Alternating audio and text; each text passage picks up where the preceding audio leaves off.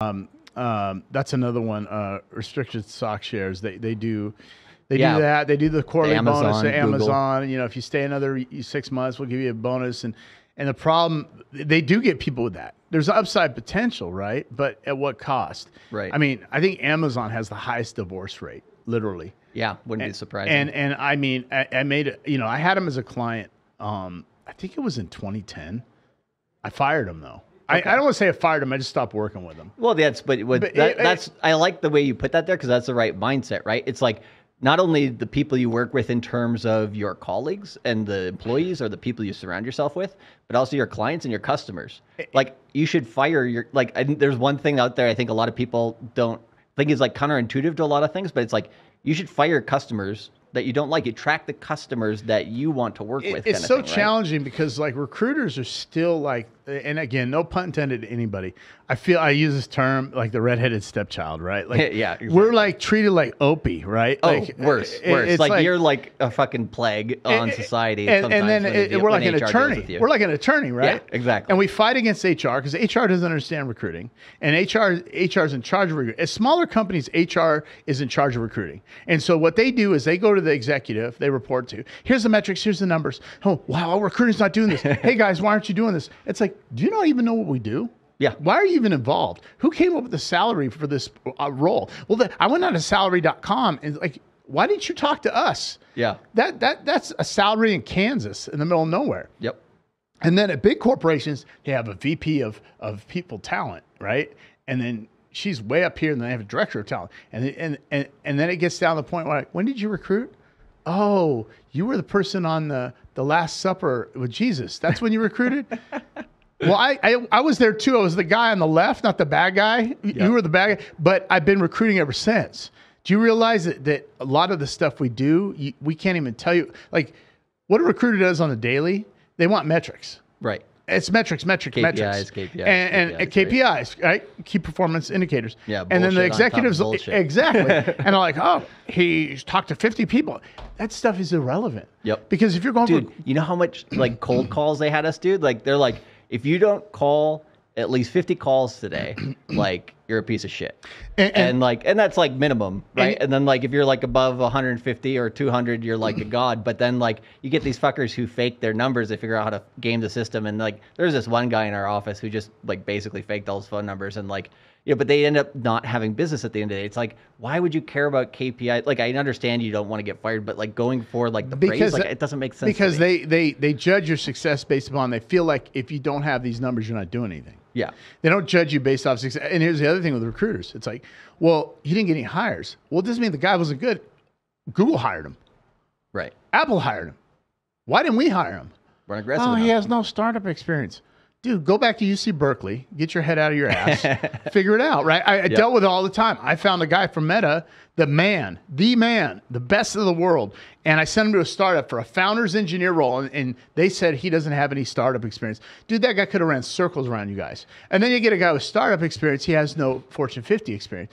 And- and here's the problem It- there's, there's a separation between reality and and and and what what will happen to do the job. So every job description I see, I have to dissect it and then talk to the the hiring manager and, and get a reality check out of them, like Black Ice Reality Check, my show, and and literally go, okay, what is it you want? Because I'm reading this list, and it looks like you're looking for Rain Man, right? Yep. And, And and. Ray, Ray, Ray. There's are. there's there's there's more queens in the deck, right? Like. th- This this person doesn't exist, and why would they come here? Yep. Well, we're scooter flags. You ain't paying shit. Yep. And there's apples and oranges. Fortune 50 companies pay usually really good. But then startups can pay at a decent pay, but then you don't have the upside potential. The, the, you have the dream of we'll go public one day, right? Yep. But then you can't compete with a Meta. You can't p- compete with an Amazon because they throw, you know, they throw 280 at you as a senior software engineer, a total package. I had a guy from Meta, okay, uh, rendering engineer. Do you know what that is? Rendering, video rendering, right? Rendering engineer.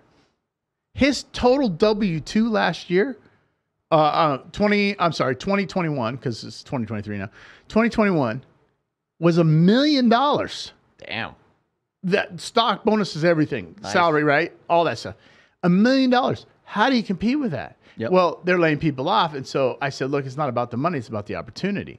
But this is what I'm running into. Yep. And so I have to fight HR, I have to fight the hiring manager, I have to fight the executives. And so as a recruiter, it's not as glorified as you used to be. It's a real challenge. And then letting them know, hey, this is don't I'm I'm paid for my value, not you're not you're not oh eh, 70 bucks. Here's a good example. I just talked to a company yesterday. Oh, they want to pay 70 for this role. I said it's not gonna happen. 70 an mm. hour? Not gonna happen. 125, 130. Well, I told them that. But they'll go hire somebody that's not qualified. They'll have to hire two people at buck Yep. 40 now. Right? You see what I And mean? they'll do half the They'll job. pinch pennies to get success and you won't get there. Yep. It's like how do you go how do you go to Japan? Well, I'm gonna walk. No, you're not. Right. Are you on crack? You're going to take a boat? The Bering Strait, bro. Exactly. no. So, yeah. yeah, no, and, and I think like there's a couple of things I want to delve into in that and like bring this towards like you know uh, investing and stuff like that because I think there's a lot of uh, overlaps, but because there's like you remind every time like I go into like recruitment type things or whatever, like there's always something you remind me of in terms of the story, like talking about useless HR people or whatever. It's like the that guy was talking about um, for that last company that I hired or whatever. It took me it took me two months to find the guy and get him interested. It took me uh, probably six full months to end the whole process, get him over to Germany, and and basically you know interviewed and and the offer signed, everything finished, right, thought and, everything, and it they had that role open for like two years in Japan, and they'd never found anybody. Yeah. and like um, I didn't know this, but like probably about six within six months after that guy got hired, basically the HR lady who was in charge there at the headquarters out. You know, They let her go. Oh yeah, because like I just smoked her, but it was one of these things where it's just like, you know, when you get a mercenary versus somebody who's comfortable in their position and doesn't have any reason to continuously improve enough, right, to actually Yeah. bring value to a company, which is really what you're talking about. Is actually okay. I need an employee who's going to bring value, right? And it's not the number that's associated. It's not on the spreadsheet. It's not on the KPI. It's not stuff that most people want to be like, okay, all these metrics I can do, but you know, at the end of the day, it's like, can you do the job and are you better than most other people at what you do? And if you can find those people, right, when you hire those people into companies, right, they stay there. Yeah, and it's not our responsibility if they quit. That's Right. the other thing.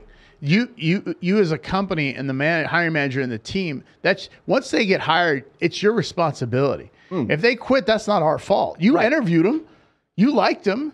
Why is it our fault that that that, that he quit, right? And so Yep. everything gets pushed down to the recruiter, right? And and the other thing that's interesting that you brought up, Charlie, is that in-house recruiters the reason they're not as successful as they could be is because they're bogged down with metrics and processes Right. 80 to 90% of their time is being spent in useless meetings metrics all this garbage instead of letting them off the reins and say go recruit right Yep. if they get three hires let's say they only talk to half the people it's funny because you know oh um, i need I need, you know, your inter- uh, phone interviews, phone screen. I do 30 minutes max, 20, Hmm. Yeah. 30 minutes.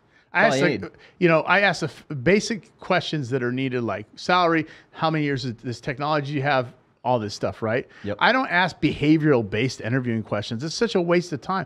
Give me an example. If you're running down the street naked with a Bud Light beer, doing this, it's like nobody cares. Exactly. That's worth that's worthless. It's like writing code when Microsoft used to say get on the whiteboard and write code.